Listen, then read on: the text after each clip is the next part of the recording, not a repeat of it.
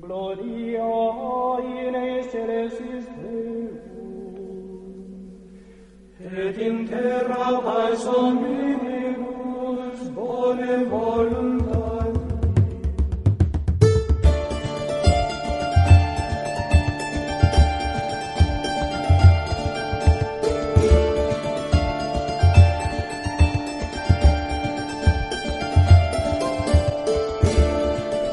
Tis the year 387 in the land known as Britain, and a young boy Patrick is taking a stroll.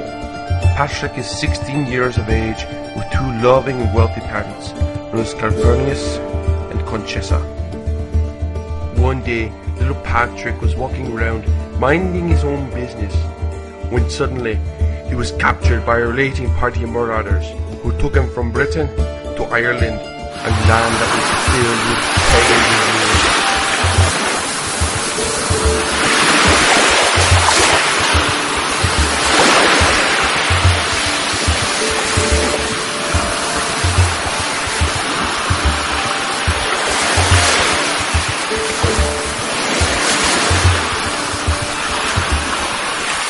Patrick was then sold as a slave to a man named Milchu, who put Patrick to work tending his flocks.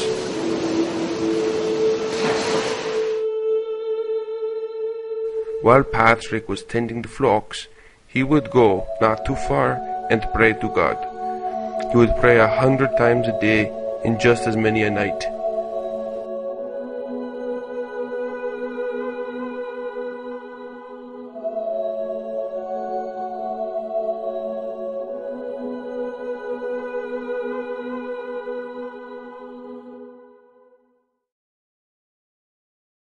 Then, after six years of slavery, God gave him a vision, telling him that a ship was waiting for him at the dock. It was time Patrick to go home.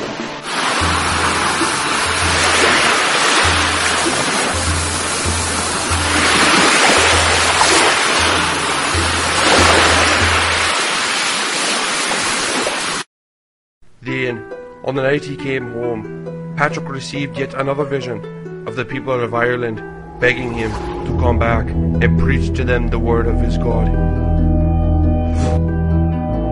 Years later, Patrick was named Bishop of Ireland, and then he came back to help the Irish people.